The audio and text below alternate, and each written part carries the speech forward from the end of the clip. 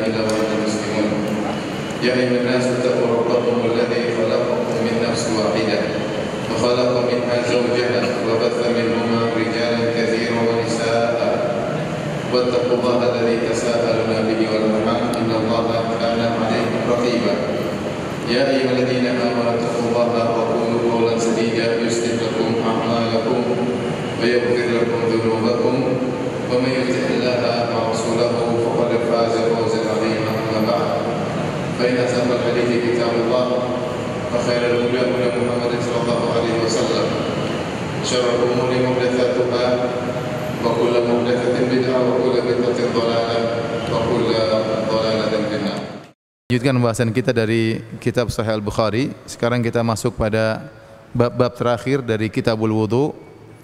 Insyaallah pertemuan berikutnya kita sudah masuk pada kitab yang lain ya. Uh, bab ke-73 bab siwak, bab tentang bersiwak. Bab tentang uh, bersiwak ya. Uh, bab ini dibawakan dalam Kitabul Wudu karena memang siwak ada hubungannya dengan wudu.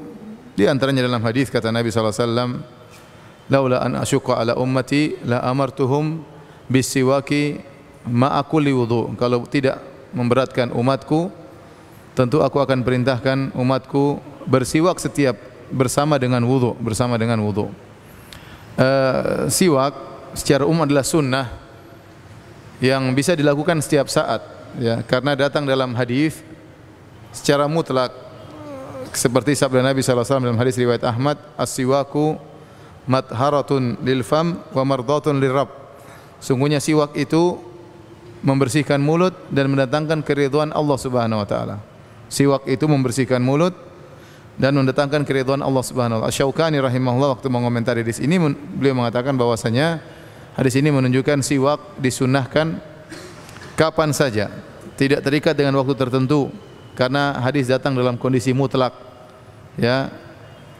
Membersihkan mulut dan juga selain itu mendatangkan keridhaan Allah Subhanahu wa taala.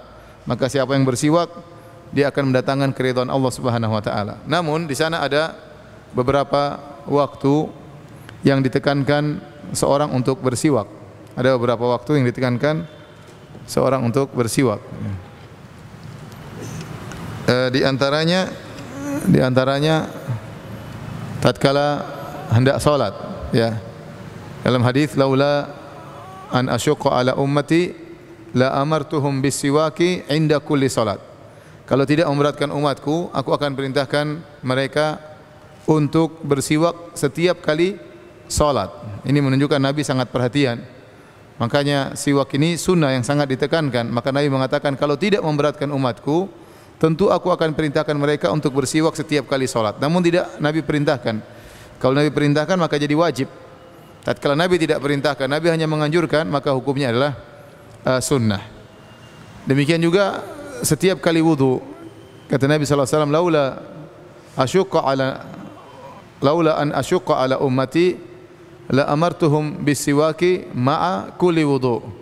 Kalau tidak memberatkan umatku, tentu aku akan perintahkan mereka untuk bersiwak bersamaan dengan wudu. Apa bedanya antara inda kulli salat dengan ma'a kulli wudu? Kalau salat Nabi mengatakan aku akan perintahkan mereka bersiwak inda tatkala salat. Rasulullah menggunakan kata inda. Tatkala berwudu Nabi mengatakan ma'a bersama dengan wudu. Aku akan perintahkan mereka untuk bersiwak ma'a bersama dengan wudu. Ulama menjelaskan bahwasanya seperti Syekh Utsaimin rahimahullah taala Nabi mengatakan Inda kulli salat artinya sebelum salat seorang bersiwak. Kemudian dia bersiwak. Tapi seandainya dia lupa bersiwak kemudian dia sedang salat dia ingat tadi dia belum bersiwak jangan dia siwak di tengah-tengah ya. Misalnya Allah Akbar lagi ruku aduh belum siwak. Jangan tidak boleh. Tetapi kalau wudu kalau wudu misalnya seorang sedang berwudu kemudian tiba-tiba dia lupa di tengah-tengah wudunya dia belum siwak dia boleh bersiwak di tengah-tengah Terus dia lanjutkan wudunya. Ini sebenarnya mengatakan perbedaannya demikian. Jadi Nabi mengatakan la amartuhum bisiwaki.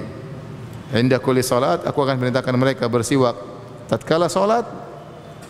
Adapun wudu kata Nabi, ma aku li wudu, aku perintahkan mereka bersiwak bersamaan dengan wudu. Yaqtadil ma'iyah yaitu kebersamaan kapan seorang lupa siwak sebelum wudu, dia boleh bersiwak di tengah-tengah wudu, enggak ada masalah ya. Ini uh, kondisi kedua. Kondisi ketiga ya tatkala hendak membaca Al-Qur'an atau dalam tatkala bangun malam untuk salat malam maka akan datang nanti hadisnya dalam Sahih Al-Bukhari Nabi sallallahu alaihi wasallam bangun malam kemudian yashusu fahu bisiwak maka dia pun menggosok mulutnya dengan siwak ya. Tatkala hendak bangun malam ya mungkin mau salat mau apa baca Quran. Ini juga ditekankan untuk bersiwak. Di antaranya juga tatkala hendak baca Al-Qur'an ya, dalam satu hadis yang dihasankan oleh Al-Albani rahimahullahu taala dalam silsilah silsilah hadis as-sahihah nomor 1213 kata Nabi wasallam innal abda idza qama yusalli atahul malak faqama khalfahu yastami'ul qur'an wa yadnu. Sungguhnya hamba jika dia bangun malam kemudian dia salat maka malaikat datang. Lalu malaikat berada di belakangnya mendengarkan Al-Qur'an yang dia baca. Wa yadnu kemudian malaikat mendekat kepadanya. Fala yazalu yastami'u. Kemudian malaikat terus mendengar bacaan Qur'annya. Wa yadnu dan terus mendekat hatta yadhafahu ala fihi. Sampai malaikat meletakkan mulut malaikat di depan mulut orang tersebut. Fala yaqra'u ayatan illa kanat fi jawfil malak. Tidaklah dia membaca satu ayat pun kecuali ayat tersebut masuk ke dalam uh, dalam malaikat ya. Jadi ini dalil bahwasanya uh, Al-Qur'an sebaiknya dibaca dalam kondisi seorang bersiwak. Dan kalau orang bersiwak dia lebih semangat baca Al-Qur'an tatkala dia sudah bersiwak mulutnya bersih segar sehingga dia baca Quran lebih semangat lebih mudah untuk tartil Beda kalau mulutnya kotor, bau, dia sendiri tidak tahan untuk baca lama-lama ya. Karena mulutnya bau dan tidak enak untuk digerakkan, berbeda tatkala mulut dalam kondisi bersih. Kemudian di antara waktu yang dianjurkan uh, untuk bersiwak adalah tatkala masuk rumah, tatkala masuk rumah ya. Uh, dari seorang bertanya kepada Aisyah bi ayyi syai'in kana yabda'u Rasulullah sallallahu alaihi wasallam idza dakhala baitahu qalat bisiwak. Maka Aisyah pernah ditanya wahai Aisyah yang pertama kali Nabi kerjakan waktu masuk rumah apa? Apa yang dia mulai kerjakan begitu masuk rumah kata Aisyah radhiyallahu taala anha bisiwak yang pertama dia kerjakan dia bersiwak ini menunjukkan bagaimana perhatian Nabi SAW terhadap istrinya Nabi masuk rumah, ya mungkin dari luar, Nabi masuk rumah, dia akan ngobrol dengan istrinya. Ya, dia bukan hendak salat, tapi dia ingin ketemu istrinya. Maka dia pun bersiwak terlebih dahulu. Makanya kalau kita pulang dari kantor, ya, badan masih bau, mau ketemu istri, mandi dulu ya. Bersih-bersih dulu, kalau mulut bau, sikat gigi dulu, biar enak ngobrol sama sama istri ya. Nabi SAW perhatian, perhatian tentang wangi tubuhnya, perhatian tentang uh, bau mulutnya. Sampai Rasulullah SAW kalau masuk rumah pertama kali Nabi bersiwak. Dan ini penting bagi kita dalam kehidupan rumah tangga. Makanya dalam hadis tatkala Nabi SAW ingin berpoligami Nabi menyuruh Nabi tidak bisa nazar secara langsung maka Nabi menyuruh salah seorang istrinya untuk mengecek wanita yang akan dinikahi oleh Nabi SAW tersebut maka Nabi wasiatkan kata Nabi SAW Shummi awaridhaha wanzuri ila urqubaiha Kata Nabi, coba cium di sekitar mulutnya dan lihatlah bagaimana bentuk uh, tumitnya ya. Uh, Nabi suruh mengecek sekitar bawah mulutnya. Ini menunjukkan Nabi perhatian terhadap kebersihan. Dia ingin sebagaimana istrinya bersih, Nabi juga ingin bersih. Maka Nabi SAW tatkala masuk rumah, yang pertama dia kerjakan adalah bersiwak, ya, supaya bisa enak ngobrol dengan istri. Kemudian yang di antara waktu yang dianjurkan juga untuk bersiwak adalah tatkala bau mulut berubah, kita ingin bersihkan mulut kita karena tadi Nabi SAW bersabda as-siwaku matharatun lil fam wa mardatun lirrab sungguhnya siwak itu membersihkan mulut dan mendatangkan keridhaan Allah Subhanahu wa taala. Maka ini isyarat bahwasanya setiap mulut kita rasa enggak enak kita dianjurkan untuk bersiwak. Nah siwak itu apa? Siwak di zaman Nabi SAW adalah semacam kayu yang di bagian ujungnya bisa dilembutkan sehingga bisa digunakan untuk bersiwak membersihkan gigi. Dahulu digunakan dari kayu arok. Sampai sekarang orang-orang jual siwak di depan depan masjid menggunakan kayu arok. Yang kayu tersebut di ujungnya lembut. Jadi tidak semua kayu bisa dijadikan siwak. Jangan kita ambil kayu besi kemudian kita siwak. Kayu jati ya bisa hancur gigi kita seluruhnya. Bisa rontok gusi-gusi kita. Tetapi siwak adalah siwak kayu yang ujungnya bisa dilembutkan. Dan yang paling bagus adalah kayu arok dan itu digunakan sampai sekarang. Dan kayu arak selain dia lembut, dia juga e, mengandung rasa min, rasa mentol. Makanya orang kalau siwak itu agak segar karena siwak tersebut ada rasanya, mendatangkan kesegaran, mendatangkan kesegaran. Itu yang disebut dengan siwak. Dan sebagian negara punya siwak model lain. Saya punya kawan dari Afrika. Dia punya siwak model lain, bukan siwak model Arab. Jadi siwak kayu dia potong, setelah potong depannya tapi bisa lembut. Dan dia siwak, dia bawa siwak dari Afrika langsung. Dia tidak tidak pakai siwak Madinah. Dia pakai siwak dari apa? Afrika. Saya lihat tuh, siwaknya lain. Ya, dia bawa dari kampungnya sendiri. Ya, kayunya berbeda, tapi sama. Giginya kuat, bersih ya. Dan di kelas gitu terus sering siwak siwak. Waktu kita di sekolah ya. Oleh karenanya siwak ini sangat disenangi oleh Nabi SAW dan Nabi sering kali bersiwak. Tadi kita sudah sebutkan kondisi-kondisi Nabi bersiwak. Nabi suruh orang untuk bersiwak bahkan setiap kali solat bahkan setiap kali wudu dan memang uh, siwak kalau dengan kayu siwak itu bisa kita terapkan sunnah Nabi. Kita bisa setiap wudu bersiwak setiap apalagi siwak mudah kita bawa. Ada seorang salaf bernama Zaid bin Khalid rahimahullahu taala kana yadau siwak indahu mawdi al-qalam min al-udhun adalah Zaid bin Khalid disebutkan oleh Al-Hafidh bin Hajar dalam Fathul Bari. Zaid bin Khalid dia selalu membawa siwaknya dan dia meletakkan siwaknya eh, ibu tolong HP-nya dimatiin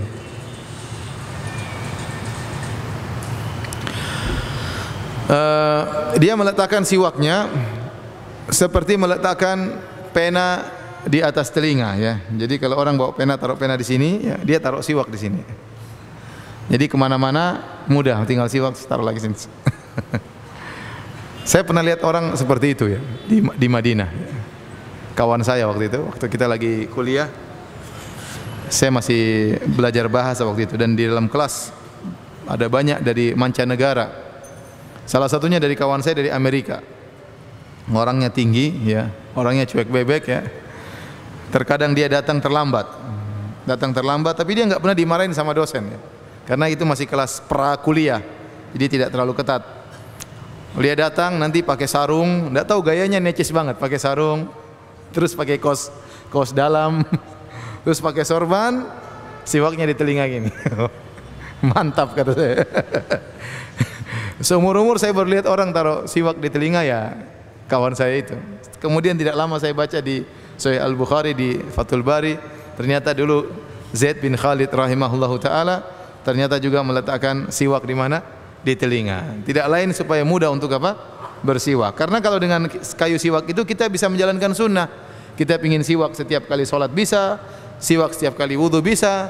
Tapi kalau siwak yang model sekarang ada pasta giginya susah kita taruh di sini tiap hari. Orang bilang apa? taruh sini tiap hari. Enggak keren. siwak taruh apa sikat gigi ya.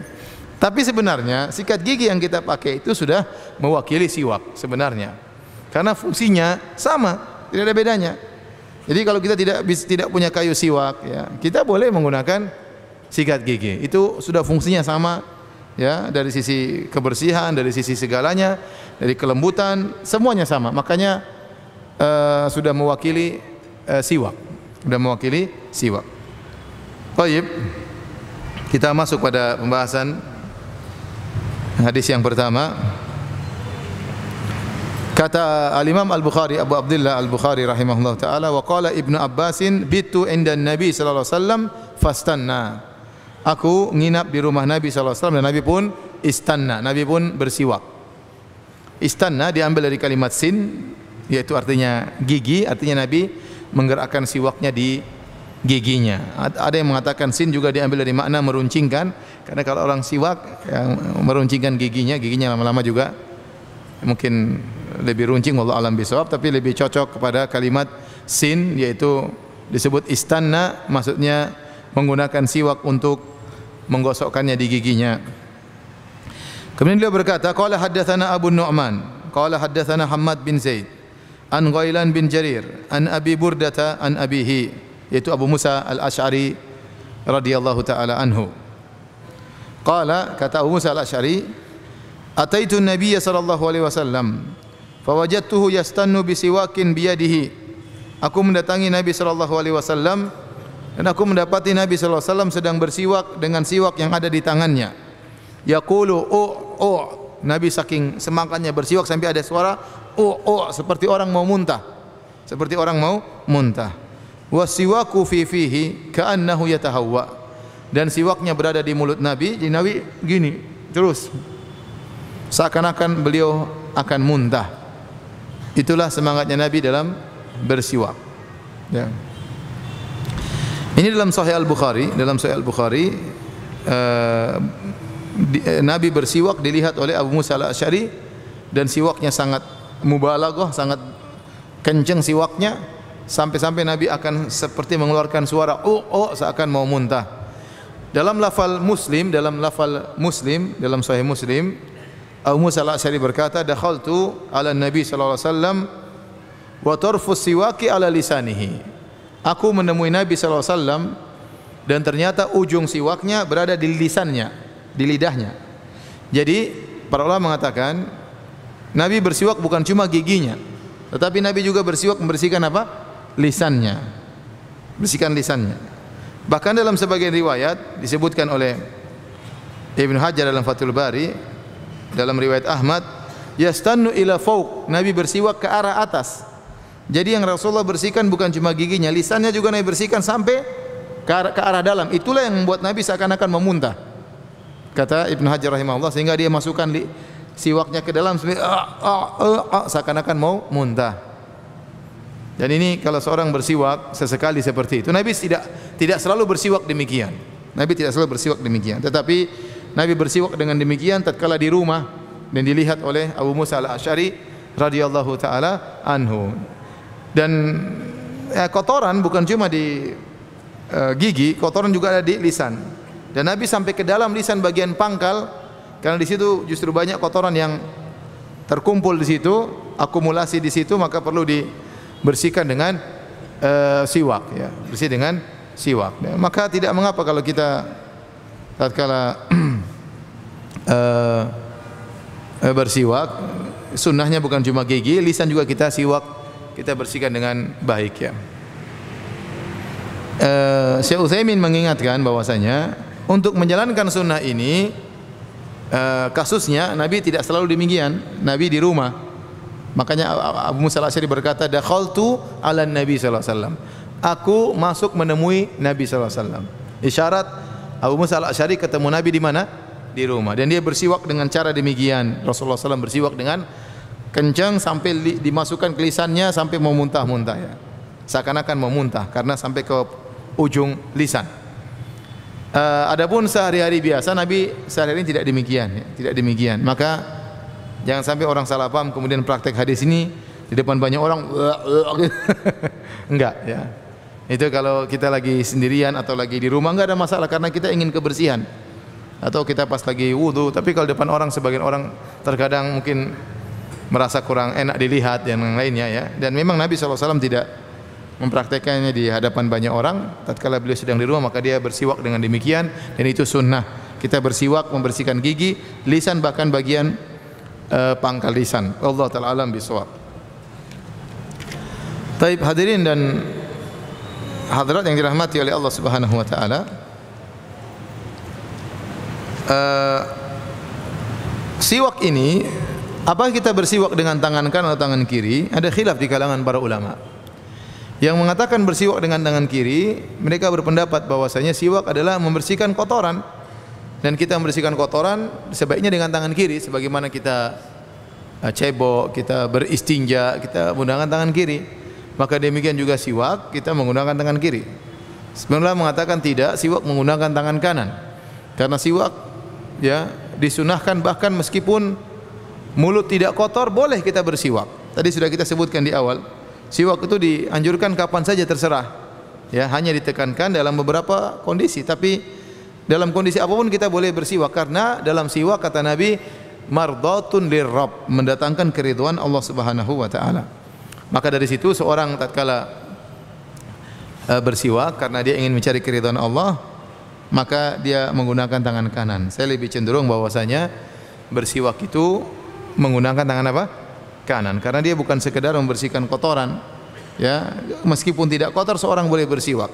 Dan lagi pula kata Ibnu Hajar rahimahullahu taala ya Nabi sallallahu alaihi wasallam bersiwak tidak sembunyi-sembunyi kata kata Ibnu Hajar liqaunihi sallallahu alaihi wasallam lam yakhtafi bihi. Nabi tatkala bersiwak dia tidak sembunyi-sembunyi bahkan sebagian ulama membuat bab istiyakul imam bihadrati ra'iyatihi tentang seorang pemimpin kepala negara bersiwak di hadapan rakyatnya. Berarti Nabi bersiwak di hadapan rakyatnya. Kalau siwak adalah seperti dikiaskan dengan istinja atau cebok, maka tentunya Nabi akan malu atau kotor sembunyi-sembunyi. Tetapi ternyata Nabi waktu bersiwak di hadapan orang, orang banyak, nggak ada masalah. Berarti ini suatu perkara yang dicintai oleh Nabi SAW. Ya, meskipun mulut tidak kotor, boleh seorang apa? Bersiwak karena mendatangkan keridhaan Allah Subhanahu Wa Taala maka pendapat yang lebih kuat bahwasanya siwak dengan tangan kanan. Taib, kita lanjutkan hadis berikutnya.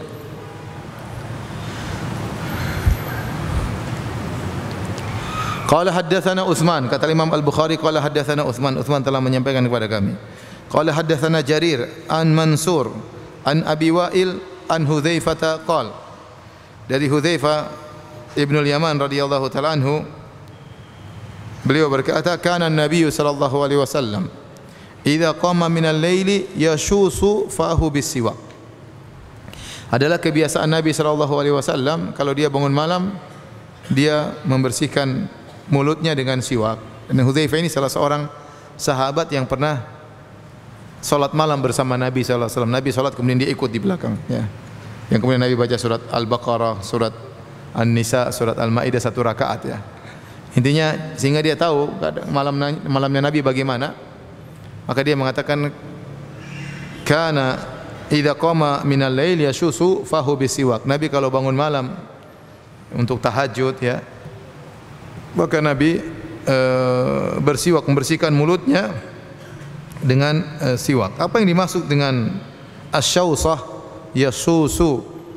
Yasusu ada khilaf di kalangan para ulama. Ada yang mengatakan yasusu artinya membersihkan secara uh, horizontal namanya syausah ada yang mengatakan asyausah maksudnya dengan vertikal ya Allah alam dua-duanya mungkin Nabi kerjakan membersihkan gigi dengan horizontal maupun vertikal dan kalau kita dengar perkataan para dokter dokter gigi ya mereka bilang sikat gigi dengan dua model dengan apa vertikal dan apa horizontal kalau ada dengan vertikal dan horizontal karena vertikal bisa menghilangkan kotoran-kotoran yang nyelinap ya kalau sekedar horizontal mungkin kurang bersih, perlu vertikal dan horizontal. Kemudian juga bagian dalam, jangan juga lupa bersihkan juga dengan vertikal dan horizontal. Dan itu dikatakan oleh para dokter ya. Memang kurang enak kalau kita vertikal bagian dalam.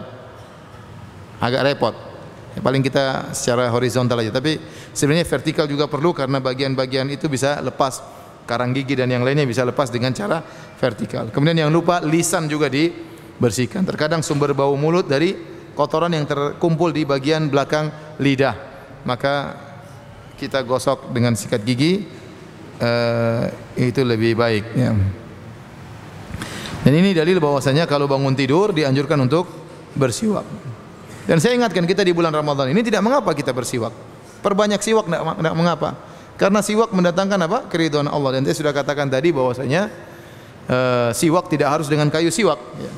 tapi dengan dengan pasta gigi, dengan sikat gigi sudah mewakili, mewakili fungsi siwak tersebut secara umum sudah mewakili sehingga seorang kalau mulutnya bersih dia semangat berzikir, dia semangat baca Quran, ya. Tidak enak kalau kita mulut kotor kemudian kita uh, apa namanya baca Quran rasanya kurang kurang kurang seger.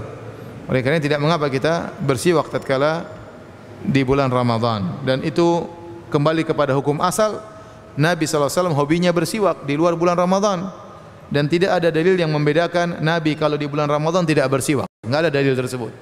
Oleh karenanya para ulama seperti Ibnu Hajar membawakan kepada hukum asal. Hukum asal Nabi suka bersiwak, maka di bulan Ramadan pun kembali kepada hukum asal Nabi suka bersiwak. Seandainya Nabi tidak bersiwak di bulan Ramadan, tentu akan dinukilkan oleh para sahabat. Karena itu kebiasaan Nabi yang sangat zahir, Nabi sering sekali bersiwak, ya, sallallahu alaihi wasallam. Taib. Kita lanjutkan. Bab daf'us siwak ilal akbar. Bab tentang memberikan siwak kepada yang lebih besar kepada orang yang lebih besar. Maksudnya apa? Kita bacakan hadisnya. Qala Abu Abdullah Al-Bukhari rahimahullahu taala wa qala Affan. Affan berkata, Haddatsana Sakhr bin Juwairah bin Juwairiyah an Nafi an Ibni Umar anna Nabi sallallahu alaihi wasallam qala bahwasanya Nabi sallallahu alaihi wasallam bersabda Arani atasawwaku bisiwakin Arani Aku melihat diriku sedang bersiwak kata Nabi. Aku melihat diriku sedang bersiwak. Dalam sebagian riwayat ya urani fil manam. Aku sedang melihat diriku dalam mimpi sedang bersiwak. Dalam riwayat Al Ismaili raaitu fil manam. Aku melihat diriku sedang bersiwak dalam mimpi. Jadi Nabi sedang bermimpi, beliau sedang bersiwak. Subhanallah. Begitu ya sampai siwak terbawa mimpi oleh Nabi sallallahu alaihi wasallam. Ya, artinya siwak ini sunnah yang disenangi oleh Nabi sallallahu alaihi wasallam. Faja'ani rajulani, maka datanglah kepadaku dua orang lelaki. Ahaduhuma akbaru minal akhar, yang satu lebih tua daripada yang lainnya. Satu lebih tua daripada yang lainnya. Fanawaltu siwakal asghara minhuma, maka aku pun memberikan siwakku yang aku pakai kepada yang lebih muda di antara kedua orang tersebut. Aku berikan siwak yang aku pakai kepada yang lebih muda di antara dua orang tersebut. Faqila li kabbir, maka dikatakan kepadaku, wahai Rasulullah, berikan kepada yang lebih tua. Dalam riwayat yang mengatakan kabbir, berikan yang kepada yang lebih tua adalah malaikat Jibril alaihi salam. Fadafa'tu ilal akbar minhuma, maka aku pun tadi mau diberikan kepada yang muda, tidak jadi akhirnya Nabi berikan kepada yang lebih tua. Nabi berikan kepada yang lebih tua.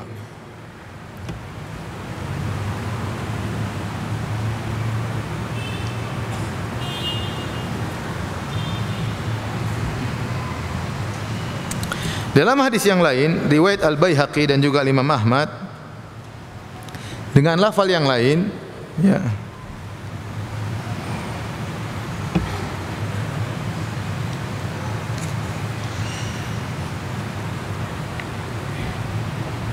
Sahabat berkata, ya, ra'aitu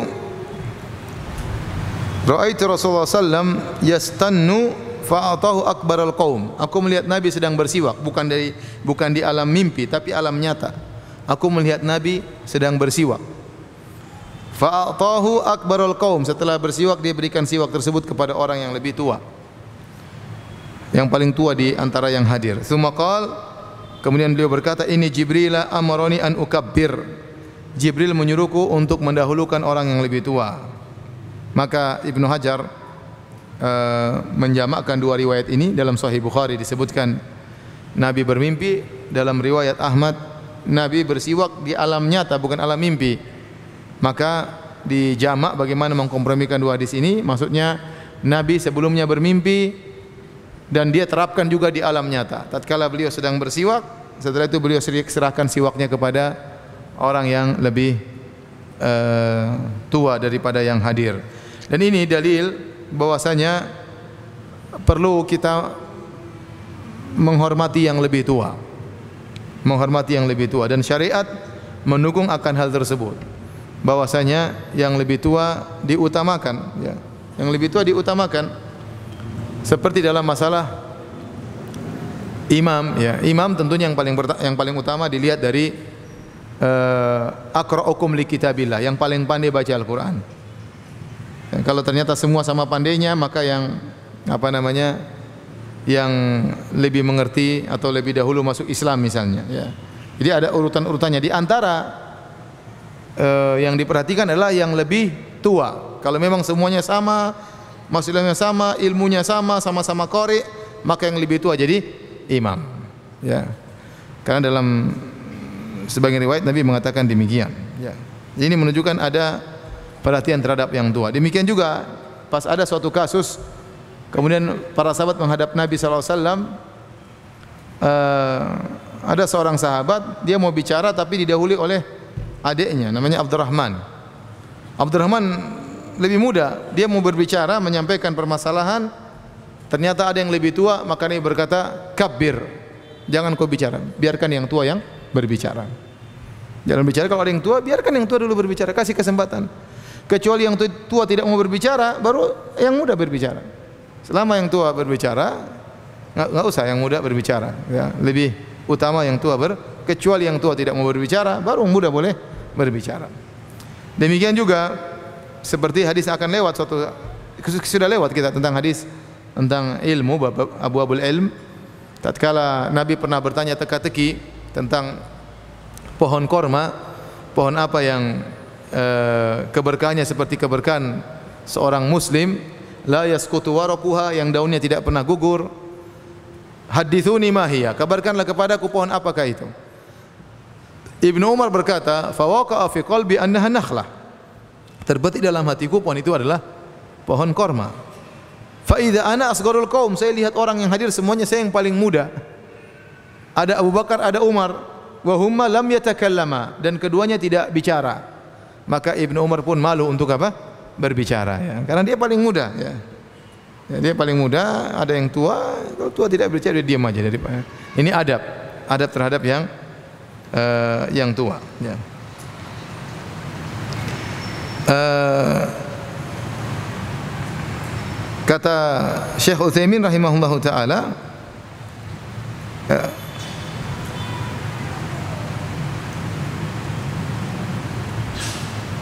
Kata Ibn Hajar, wa qala al-Muhallab Muhallab berkata dinukil Ibn Hajar, "Hadza ma lam yataraddab al-qaum fil julus." Fa idza tarattabu fa sunnatu hina idzin taqdimul. Ini kalau ternyata misalnya orang-orang tidak teratur duduknya. Tapi kalau orang duduk teratur, yang sunnah adalah yang bagian kanan terlebih dahulu. Fasunnah hina idzin taqdimul aiman dan ini yang didahulukan sebelah kanan dan akan datang dalam satu hadis tatkala Rasulullah sallam uh, minum apa bersiwak kalau tidak salah atau minum air ya. Kemudian waktu itu orang-orang hadir dan sudah duduk dengan rapi. Di sebelah kanan Nabi ada Arabi, orang Arab Badui. Sebelah kiri Nabi ada Abu Bakar. Maka setelah Nabi minum, kemudian Nabi berikan kepada Arab Badui karena dia sebelah kanan. Maka Umar berkata, "Ya Rasulullah Abu Bakar." Wahai Rasulullah di sampingmu ada Abu Bakar. Tetapi Abu Bakar posisinya di mana? Di kiri. Maka Nabi dahulukan yang yang kanan. Padahal Abu Bakar adalah orang yang mungkin tua, yang senior. Tapi karena kalau orang sudah duduk rapi, maka yang kanan lebih didahulukan. Kalau orang duduk enggak teratur, maka kalau kita misalnya kasih minuman, kasih dulu yang lebih kepada yang lebih tua sebagai bentuk penghormatan kepada yang tua. Aturannya antara tua dan muda kata Nabi sallallahu alaihi wasallam laisa minna man lam yuwaqqir kabirana wa lam yarham saghirana. Bukan dari golongan kami yang tidak memuliakan yang tua dan tidak sayang kepada yang muda. Maka dua-duanya harus punya ya, tanggung jawab ya dan punya perhatian yang muda hormat kepada yang tua, yang tua sayang kepada yang yang muda. Kapan hilang hal ini salah satu dari keduanya maka akan terjadi cekcok ya antara tua dan muda. Kalau yang muda tidak hormat sama yang tua, ya repot. Ya. Merasa mentang-mentang, merasa lebih berilmu, merasa lebih ini, macam ah, akhirnya kacau. Kalau yang tua juga maunya dihormati, tidak sayang kepada yang muda, juga akan terjadi khalal, terjadi masalah. Maka aturannya demikian, yang muda hormat kepada yang tua dan yang tua sayang kepada yang yang muda. Taib, hadis ini juga menunjukkan ya bahwasanya seorang boleh memberikan siwaknya kepada yang lain. Bukankah dalam hadis Nabi SAW setelah bersiwak dia berikan siwaknya kepada orang lain ya. Maka eh, ini tidak mengapa ya. Kalau langsung pakai boleh boleh saja. Bekasnya orang boleh saja kalau kita tidak merasa jijik apalagi suami istri nggak ada masalah ya. Tapi kalau jijik nggak ada masalah dibersihkan dulu atau pakai dari sisi yang lain nggak ada masalah. Oleh karenanya dalam hadis Abu Dawud Sunan Abi Dawud dari Aisyah radhiyallahu anha beliau berkata, "Kana Rasulullah SAW yu'tini siwak liaksilahu." Nabi memberikan aku siwak untuk aku bersihkan. Jadi siwak itu boleh dibersihkan. Dipakai lagi boleh. Nabi kasih siwak kepada Aisyah untuk dibersihkan. Fa'abda'u bihi fa'astaku. Namun saya tidak langsung bersihkan, saya pakai dulu kata Aisyah. Kenapa? Mencari keberkahan dari ludah siapa? Nabi sallallahu alaihi wasallam. Thumma aksiluhu setelah itu baru aku bersihkan. Thumma adfa'uhu ilaihi kemudian saya berikan kembali kepada Nabi sallallahu alaihi wasallam. Ini dalil bahwasanya Aisyah wanita yang cerdas, kesempatan bisa bersiwak dengan ada air liur Nabi sallallahu alaihi wasallam maka tidak mengapa. Dan oleh karenanya disebutkan nanti dalam hadis Nabi sallallahu alaihi wasallam meninggal kata Aisyah liurku bercampur dengan liurnya ya. Sebagaimana datang dalam hadis waktu Aisyah waktu Rasulullah SAW akan meninggal dunia, maka datang Abdurrahman bin Abu Bakar sedang bersiwak. Maka Nabi ngeliat terus siwak tersebut. Maka Aisyah tahu Nabi ingin bersiwak. Sebelum meninggal dunia Nabi ingin bersiwak. Maka Aisyah berkata, "Akhudhuhu lak, aku ambilkan siwak tersebut untuk kau wahai Rasulullah." Rasulullah mengisyaratkan dengan kepalanya karena beliau sudah tidak bisa lagi bicara. Saking parah sakit yang beliau derita. Maka Aisyah pun mengambil siwak dari Abdurrahman, maka dia pun gigit dari sisi yang lain, ya. Ya fa tayyabtuhu maka saya pun layantuhu saya jadikan lembut digigit oleh Aisyah sehingga ujung siwaknya jadi lembut. Dengan air liur beliau tentunya digigit-gigit. Setelah lembut baru dia pun kasih Nabi SAW Nabi pun bersiwak. Kata Aisyah fama ra'aitu yastannu istinanan ahsana minhu. Aku tidak melihat Nabi bersiwak lebih indah daripada tatkala beliau bersiwak sebelum meninggal dunia setelah itu Nabi pun meninggal dunia kata Aisyah itulah terakhir sebelum Nabi meninggal liur Aisyah bercampur dengan liur siapa? Nabi SAW dalam siwak tersebut. Karena sebelum Nabi bersiwak, Aisyah eh, lembutkan dulu kayu siwak tersebut sehingga mudah untuk digunakan oleh Nabi tatkala bersiwak. Ini dalil bahwasanya Nabi sangat mencintai siwak, ya sering bersiwak bahkan sebelum meninggal dunia beliau masih sempat untuk bersiwak sallallahu alaihi wasallam. Taib. Jadi tidak mengapa pakai siwak orang ya. Tidak mengapa. Kawan, kawan pakai. Kalau enggak mau ya sudah bersihkan, enggak bersihkan. Taib, ini kalau suami istri enggak ada masalah ya. Bab fadlu man bata 'alal wudu. Ini hadis terakhir dalam kitabul wudu ya. Penutup kajian kita. Bab fadlu man bata 'alal wudu. Bab tentang keutamaan orang yang tidur dalam kondisi berwudu. Dalam kondisi ber, berwudu. Uh, Al-Imam Al-Bukhari berkata, qala haddatsana Muhammad bin Muqatil. Qala akhbarana Abdullah, qala akhbarana Sufyan an Mansur an Sa'ad bin Ubaidah an Al-Bara bin Azib radhiyallahu anhu. Jadi Al-Bara bin Azib radhiyallahu anhu qala Qala Nabi sallallahu alaihi wasallam, Nabi sallallahu alaihi wasallam bersabda, "Idza ataita madja'aka fatawadda wudu'aka lis-salat." Kalau kau hendak tidur, datang ke tempat tidurmu, maka berwudulah seperti kau wudu hendak salat. Ini sunnah. Sebelum tidur berwudu. Thumma taji ala syiqqikal ayman. Kemudian berbanglilah di atas bagian kananmu. Jadi begini ya. Thumma qul kemudian berdoalah. Allahumma aslamtu wajhi ilaik. Ya Allah aku serahkan wajahku kepada Engkau. Wa fawwadtu amri ilaik. Aku serahkan segala aku pasrahkan urusanku kepada Engkau. Wa aljahtu dhahri dhahri ilaik dan aku sandarkan punggungku kepada Engkau. Ragbatan wa rahbatan ilaik. Aku berharap pahala darimu. Ragbah wa rahbatan aku takut azab darimu. La malja'a wa la manja minka illa ilaik. Tidak ada tempat bersandar tidak ada tempat keselamatan kecuali kepada Engkau. Tidak ada tempat tidak ada kesempatan selamat darimu, tidak ada tempat selamat darimu kecuali kepada Engkau juga. Allahumma amantu bi kitabika alladhi anzalt. Ya Allah, aku beriman kepada kitabmu yang kau turunkan. Wa bi nabiyyika alladhi arsalt dan aku beriman kepada nabimu yang kau utus. Kata Nabi ini doa. Ya. Antum hafal ya. Doa sebelum tidur. Saya ulangi Allahumma baca hadisnya situ. Allahumma aslamtu wajhi ilaik wa fawwadtu amri ilaik wa alja'tu dhahri ilaik rakbatan wa rahbatan ilaik la malja'a wa la manja minka illa ilaik Allahumma amantu bi kitabika alladhi anzalt wa bi nabiyyika alladhi arsalt. Ini doa sebelum tidur.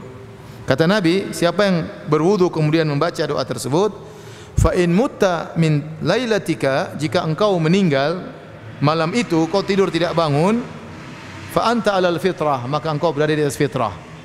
Fitrah mungkin artinya di atas sunnah atau di atas kelurusan, fitrah yang benar. Ya. Artinya meninggal dalam kondisi husnul khatimah. Kemudian kata Nabi waj'alhunna akhira ma tatakallamu bih dan jadikanlah doa ini sebagai doa yang terakhir kau ucapkan. Qala maka Al-Bara bin Azib berusaha menghafal doa tersebut. Dia langsung ulang. Sekali dengar langsung dia hafal. Para sahabat dahulu demikian ya. Sekali dengar langsung apa? Hafal ya. Karena mereka orang Arab, mereka mengerti dan mereka hafalannya kuat ya. Kalau kita kacau balau ya. Kicau beliau ya.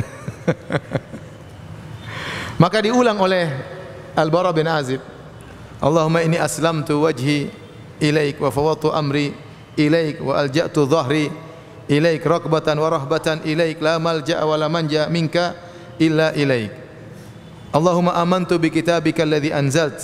Kemudian dia salah ngomong dia mengatakan wa bi rasulika alladhi arsalt. Harusnya wa bi nabiyyika alladhi arsalt. Aku beriman kepada nabimu yang kau utus tapi karena dia paham bahasa Arab maka dia salah hafal. Dia mengatakan aku beriman dengan rasulmu bukan dengan nabimu. Lafalnya bi nabiyyika alladhi arsalt yang nabi ajarkan Aku beriman kepada nabimu yang kau utus. Namun dia baca dengan salah bacaan. Dia mengatakan aku beriman bi rasulika alladhi arsalt. Dengan rasulmu yang kau utus ya. Wa bi rasulika alladhi arsalt. Maka nabi tegur kata nabi la bukan begitu. Wa bi nabiyyika alladhi arsalt. Dengan nabimu yang kau utus ya Allah. Jadi uh, ditegur Al-Bara bin Azib karena salah hafal ya. Salah hafal terakhir salah ya. Kalau kita dari awal sampai akhir salah. Itu pun sebenarnya tidak salah secara makna, cuma harus jangan diganti nabi dengan rasul. Taib. Ini hadis terakhir dalam kitabul wudu tentang diutamakan atau disunahkan seorang berwudu sebelum tidur. Karena kita tidak tahu ya apakah kita tidur masih bisa bangun lagi Allah yatawaffal anfusa hina mautiha wallati lam tamut fi manaimiha. Fayumsiku allati qada 'alaiha al-maut wa yursilu al-ukhra ila ajalin musamma. Tatkala orang tidur nyawanya dipegang oleh Allah Subhanahu wa taala. Fayumsiku allati qada 'alaiha al-maut kalau dia meninggal ya udah nyawa dipegang enggak balik lagi ke jasadnya. Wa yursilul ukhra yang masih hidup dilepaskan kembali oleh Allah Subhanahu wa taala. Ila ajalin musamma sampai waktunya dia meninggal dunia. Betapa banyak orang tidur enggak bangun lagi. Banyak segar bugar. Ada kejadian di luar, lagi main apa namanya? Main bulu tangkis malam-malam, kemudian capek mandi, tidur, enggak bangun lagi. Ada yang main tenis malam-malam, bangun tidur, enggak bangun lagi. Banyak orang yang tidur, banyak kejadian sebagian ikhwan-ikhwan meninggal tidur, enggak bangun lagi ya. Kita tidak tahu kapan nyawa kita diambil oleh Allah Subhanahu wa taala, dipegang dan tidak dikembalikan maka seorang ingin agar dia meninggal dalam kondisi baik husnul khatimah di antaranya dia berwudu sebelum sebelum tidur hadirin dan hadirat yang Allah Subhanahu wa taala doa tidur sangat banyak di antara doa yang sangat banyak diucapkan adalah doa sebelum tidur, banyak sekali. Kita baca tiga kul, ada doa ini, doa itu, doa anu banyak doa-doanya. Kalau kita mau hafal, saya rasa lebih dari 10 doa atau zikir yang dibaca sebelum tidur. Ya. Sebelum tidur ya. Di antaranya zikir ini. Nah, hadis ini menunjukkan bahwasanya zikir inilah zikir yang paling terakhir yang kita baca. Seandainya kita sudah baca zikir ini, kemudian kita enggak bisa tidur, kemudian kita baca Quran, ya. maka ulangi lagi zikir ini sebelum apa? Tidur. Jadikan zikir ini zikir yang terakhir berdasarkan hadis Nabi wa ja'alhunna akhira ma tatakallamu bih. Jadikanlah ini zikir yang terakhir yang kau ucapkan sebelum tidur. Sama kalau kita sudah baca doa tidur tahu-tahu istri ganggu-ganggu kita, kita ngobrol, ulangi lagi doanya. Ulangi lagi doanya sebelum kita tidur. Ya, ini sebagaimana dijelaskan oleh Syekh Utsaimin rahimahullah taala, kalau seorang tersibukkan baca Quran atau dia sibukkan pembicaraan yang lain, maka dia akhiri zikirnya dengan zikir ini. Kemudian uh, ini juga mengajarkan kepada kita di antara adab tidur adalah tidur di atas lambung kanan ya. Apa sebabnya Allah alam bisab kita enggak tahu. Ada yang mengatakan secara kedokteran karena ini karena anu karena ini. Saya tidak tahu, saya tidak tahu buktinya benar atau tidak. Yang jelas Nabi begitu, bahkan Nabi perintahkan. Kata Nabi sallallahu alaihi wasallam, "Tsumma taji' ala shiqqikal shiqqikal aiman." Kemudian kau berbaringlah di atas lambung kananmu. Begini ya.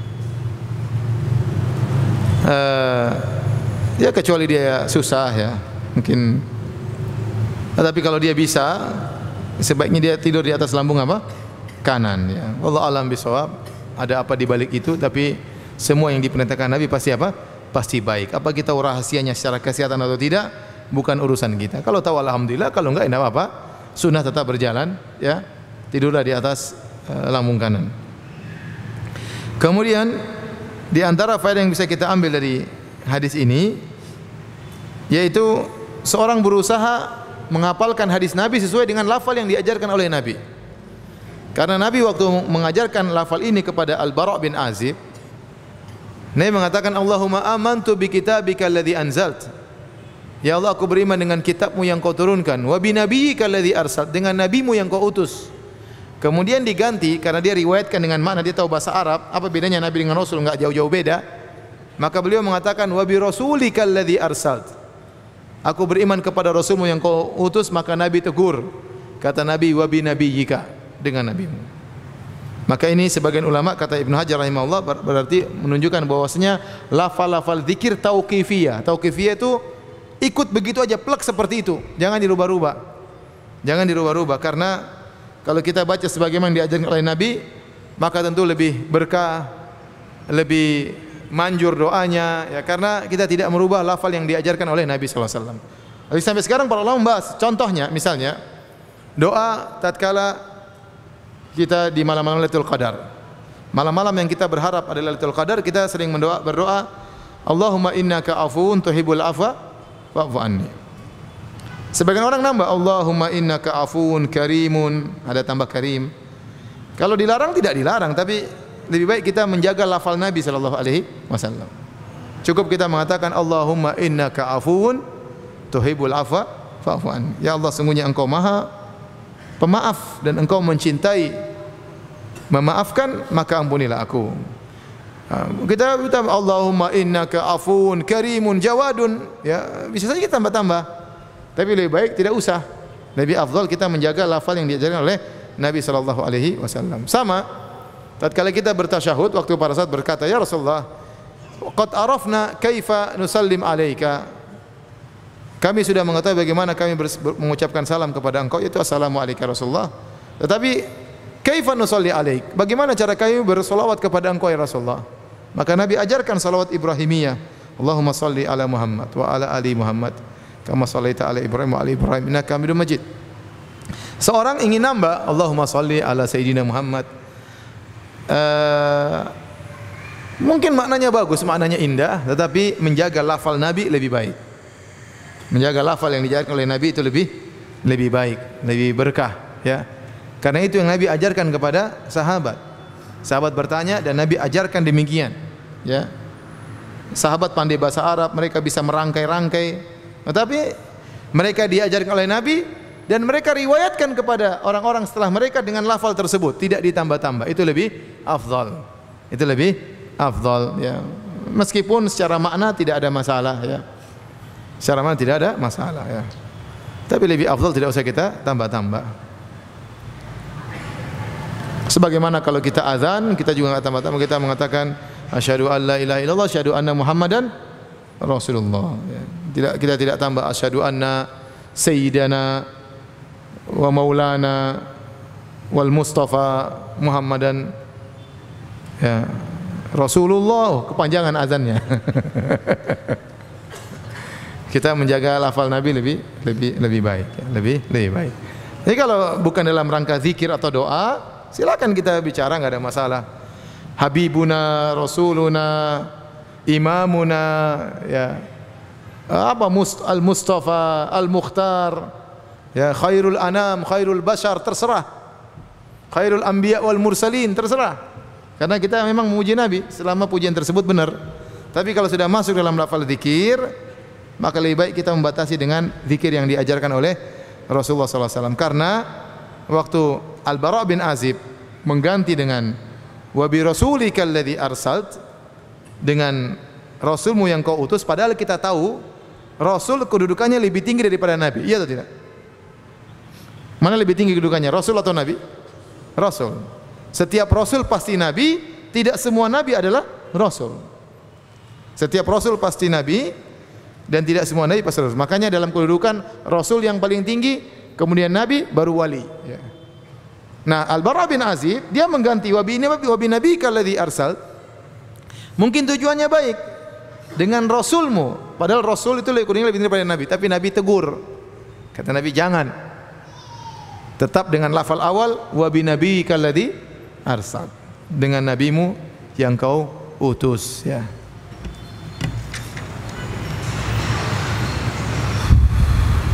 Taib.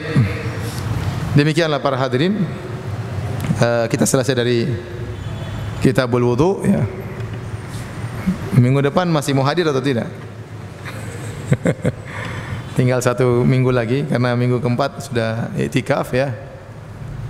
Uh, yang mau bertanya saya persilahkan. Wallahu taala alam bisawab. Jadi minggu depan saya enggak bawa buku ini lagi. Saya bawa buku yang baru. Berapa tahun kita satu jilid ini? Hah? Dua tahun ya? Dua tahun satu jilid. Masya Allah. Padahal ini ada 26 jilid kalau nggak salah. Berarti dua kali 26 berapa? 50 52 tahun baru habis buku. Kalau kalau kita continue dan apa namanya? Ya mudah-mudahan Allah kasih umur biar kita bisa selesai dari apa? Sahih Bukhari. Tapi ada yang bertanya saya persilakan. Bolehkah wudu hanya dengan disirami tanpa diusap? makna dari uh, uh, jadi ada namanya al-ghusl ada namanya uh, namanya al-ghusl ada namanya ad-dalk ad-dalk itu menggosok. Itu lebih tinggi daripada sekedar al-ghusl sekedar al-ghusl jadi kalau al-ghusl itu ada aliran air. Ada aliran air. Jadi seandainya seorang berwudu cuma nyalakan air terus diginikan aja yang penting kena semua maka sudah sah wudunya. Karena Allah mengatakan faksilu wujuhakum wa aydiyakum ilal marafiqi wamsahu bi ru'usikum arjulakum. Misalnya seorang berwudu kemudian kaki dia malas untuk gosok-gosok dia kasih begini aja airnya ngalir sah. Sunnahnya dia gosok kemudian dia sela-sela jarinya. Tapi kalau dia airnya jadi gini, airnya jalan terus maka sudah sah, sudah dikatakan dia mencuci kakinya. Itu bedanya. Dia al-ghusl itu ada aliran air.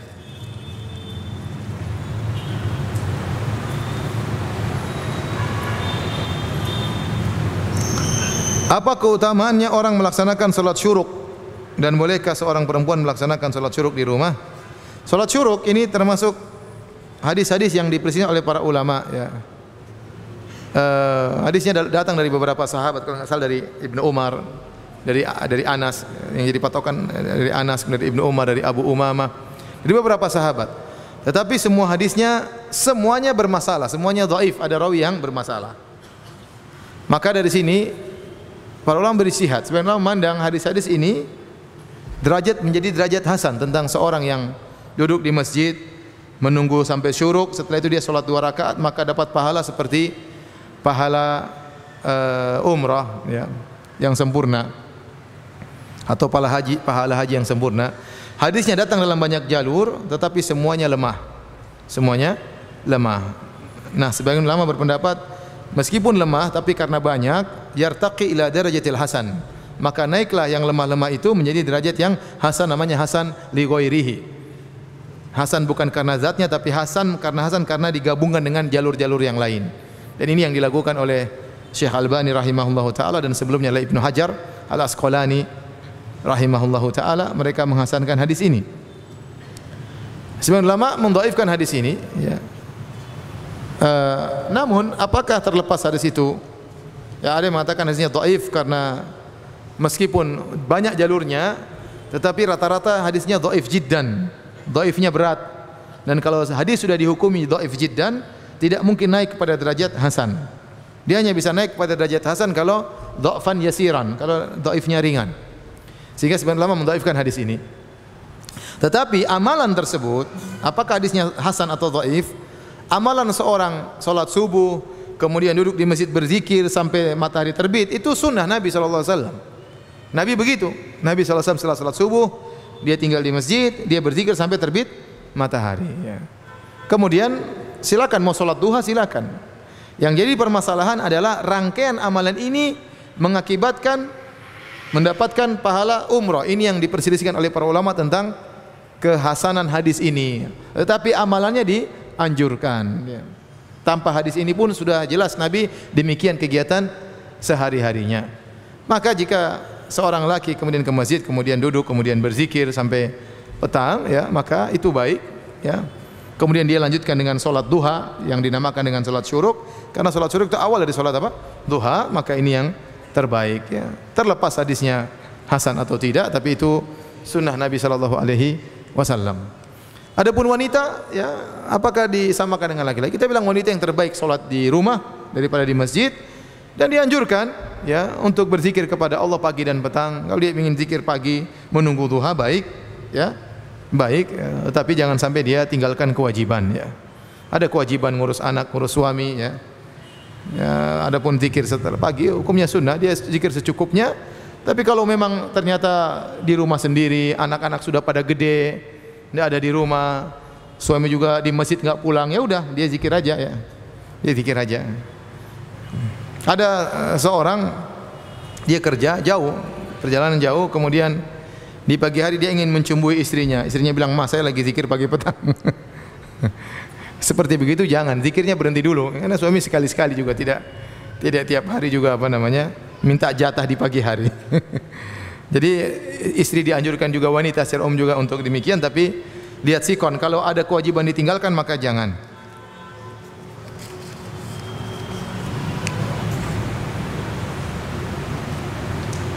Ustaz, anak seorang guru SD di sekolah. Saat penyerahan rapot akhir semester biasanya orang tua murid sering memberi hadiah kepada anak. Sebagai ucapan terima kasih kepada anak yang telah mendidik putra-putrinya. Bagaimana hukum menerima hadiah tersebut? Uh, kalau kita kerja di suatu uh, suatu apa namanya lembaga atau misalnya lembaga sekolah dan kita tugas kita melayani banyak orang, kita melayani banyak murid, Kemudian ada orang tua wali murid memberi hadiah. Maka hadiah itu sebaiknya kita serahkan kepada kepala sekolah dan kita sampaikan eh, kita jangan terima langsung dari jadi biarkan kepada kepala sekolah. Dan sebagian sekolah menerapkan demikian. Kalau ada yang kasih hadiah semuanya dikumpulkan kepala sekolah. Agar tidak diketahui siapa yang kasih. Kemudian nanti dia yang kasih mau diberikan kepada guru-guru, kepala sekolah yang apa namanya? yang atur ya. Karena kalau tidak, bagaimanapun namanya manusia, kalau dibaiki dia ingin balas kebaikan tersebut. Kalau ada salah seorang murid kemudian orang tuanya kasih kita, dia tidak maksud apa, dia terima kasih aja. Tatkala kita tahu bapaknya kasih kita hadiah, kita pasti lebih sayang, lebih perhatian kepada murid ini, pasti. Karena kita lemah manusia, ya. Kalau dikasih hadiah pasti kita perhatian lebih daripada yang tidak kasih hadiah, ya. Ya. Ahsin ila nasi tasta'bid qulubahumu Fatala masta'badal insanal ihsanu. Kata seorang penyair, berbuat baiklah kepada seseorang maka engkau akan memperbudak hatinya. Betapa banyak orang diperbudak karena kebaikan ya. Oleh karenanya dengan kalau kita terima pasti ada kecondongan kita perhatian terhadap terhadap anak anak tersebut ya. Sebagai bentuk apa namanya? Bentuk balas jasa. Oleh karenanya sebaiknya jangan diterima.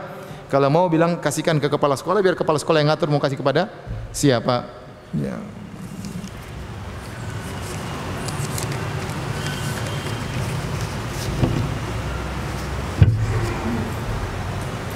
Ustaz di bulan Ramadan setan semua dibelenggu, tapi masih banyak manusia yang melakukan maksiat.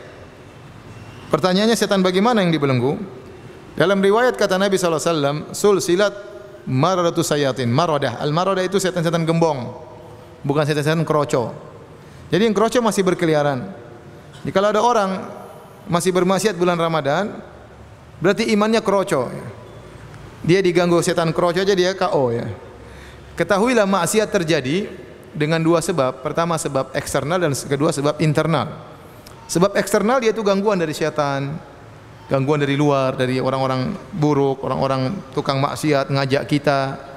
Kita bisa tergoda, akhirnya kita bermaksiat. Yang kedua, faktor internal, diri kita juga buruk. Ya, makanya di antara doa Nabi, wa na'udzubika min syururi anfusina.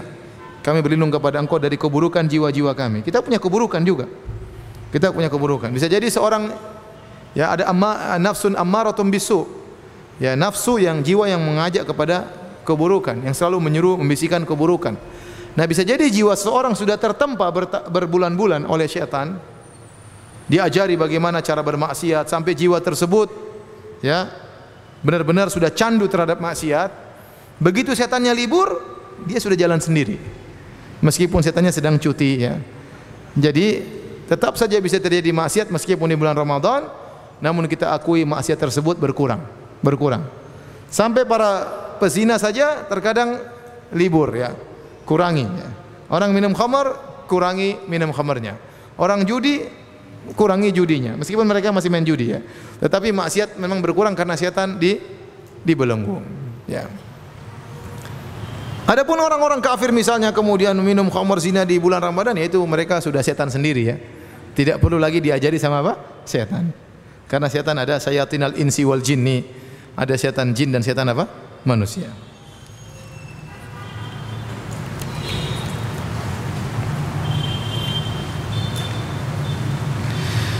Bolehkah menggosok gigi dan odol dengan odol saat berpuasa? Boleh tadi kita bilang boleh, tidak ada masalah. Ya.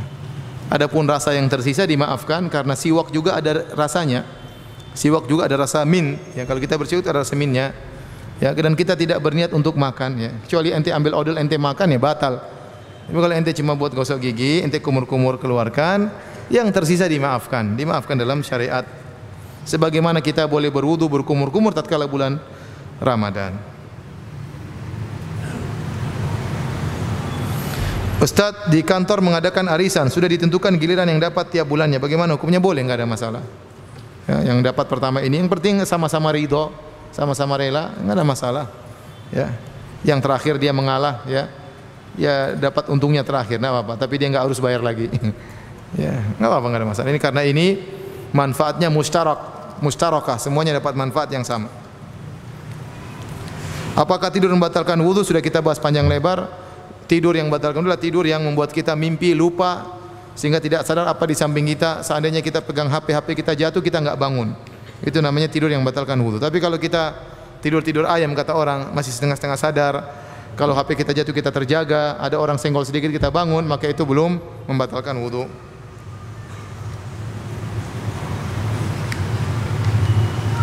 Ustaz, bolehkah wanita yang belum menikah mengikuti iktikaf? Boleh, gadis boleh iktikaf, tidak ada masalah, larangan, tetapi jaga diri, Cari masjid yang benar-benar terpisah benar antara wanita dan laki-laki. Cari masjid yang dibikin lebih aman, yang WC-nya, toiletnya pisah. Jadi tidak ada lalu lalang di antara laki-laki dengan perempuan. Misalnya lantai satu laki-laki, lantai dua perempuan tutup. Pas seperti ini kan masih bisa nengok-nengok ini. Apa mizanin ya. Tapi kalau yang tertutup itu lebih lebih baik ya. Berusaha seperti ini perempuan WC-nya sebelah sana misalnya laki-laki itu lebih baik seperti itu. Cari masjid yang seperti itu lebih aman. Sahkah wudu di empang seperti di kampung-kampung? Empang, hukum asal air adalah suci dan mensucikan. Air yang alami. Ya wa anzalna minas sama'i ma'an tahuran kata Allah kami turunkan dari langit air yang tahur, suci dan mensucikan. Air turun dari langit kemudian menjadi air laut, menjadi air sungai, menjadi air empang, menjadi air macam-macam ya. Selama air tersebut masih dalam bentuk aslinya air, maka boleh kita berwudu meskipun dengan air empang ya. Adakah solat qabliyah isya? Tidak ada solat rawatib qabliyah isya, tetapi adanya solat antara adzan dan iqamat dianjurkan. Ya. Bainal adzanain solat di antara adzan dan iqamat ada solat dua rakaat. Maka boleh seorang solat sebelum isya. Ustaz, apakah boleh solat boleh solat dengan menggunakan sepatu? Boleh. Bahkan dahulu Nabi menganjurkan solat pakai sepatu karena orang-orang Nasara dulu mereka solat tanpa sepatu. Sekarang mereka ke gereja pakai apa? Sepatu. Sampai sekarang masih berlanjut. Makanya seperti kalau di Arab Saudi eh, tentara-tentara polisi-polisi mereka solat pakai sepatu di Masjid Nabawi, nggak ada masalah. Ya, mereka salat sepatu mereka bersih, mereka masuk di masjid pakai sepatu. Ya, kalau kita keluar becek masuk sini ada repot ya. Nanti Bang Pitung marah-marah. Lihat kondisi seandainya masjid kita tanah, pakai sepatu enggak apa, tapi karpet. Ya karpet khawatirnya kalau kita pakai sepatu jalan ke depan, wah itu ada jejaknya dan itu bisa menimbulkan bau dan macam-macamnya. Tetapi salat pakai sepatu, pakai sendal itu sunnah sebenarnya. Jika kondisinya memungkinkan. Jika kondisinya memungkinkan. Apakah boleh salat menyandang senjata? Ini kayaknya yang nanya polisi nih. Boleh, enggak ada masalah. Boleh salat pegang apa? Senjata. Senjatanya disimpan, jangan di maksudnya ya yang wajar aja ya. Biar tidak membuat orang takut.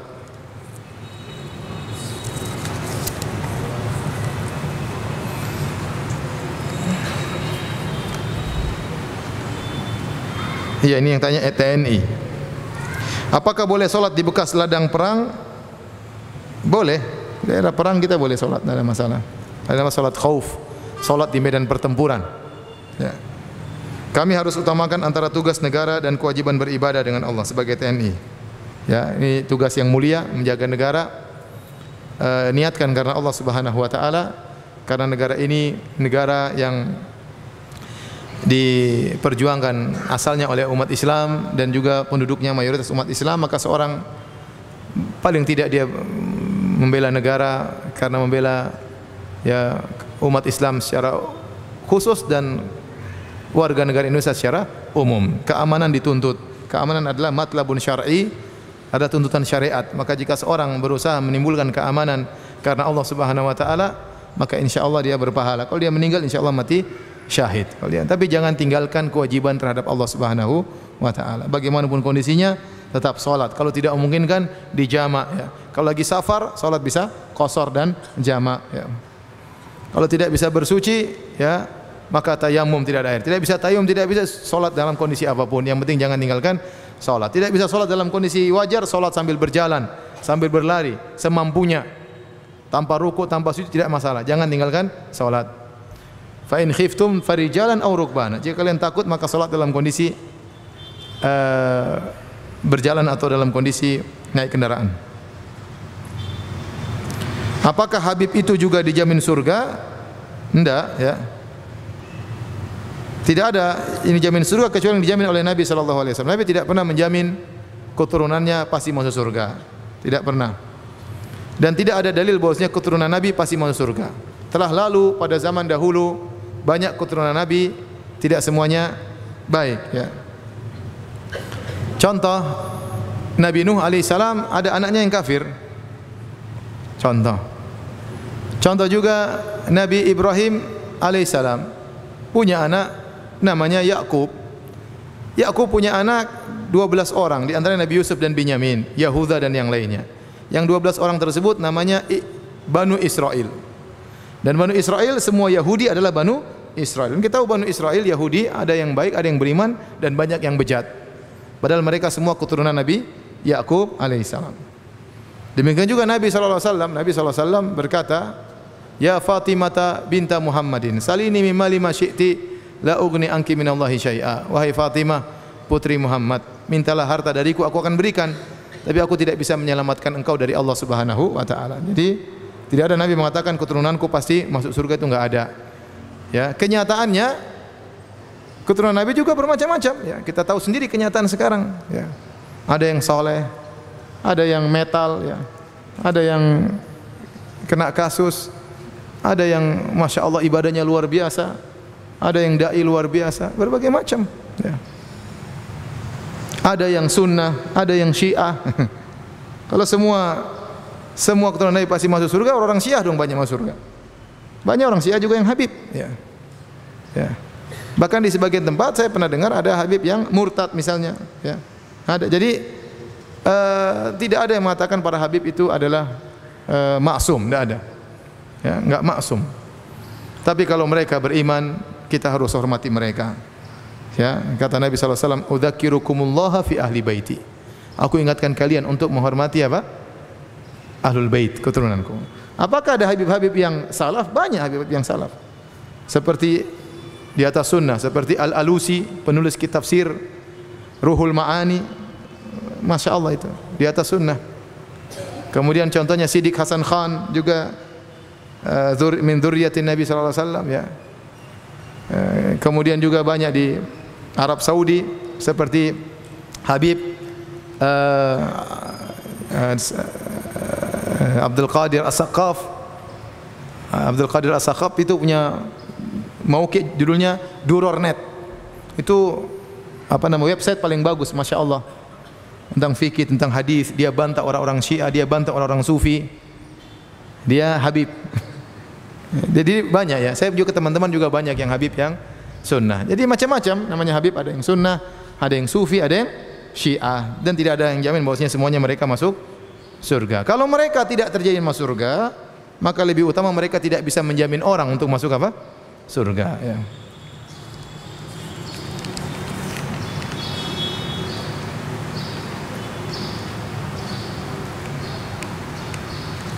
Tapi demikian saja kajian kita tinggal sebentar lagi buka puasa.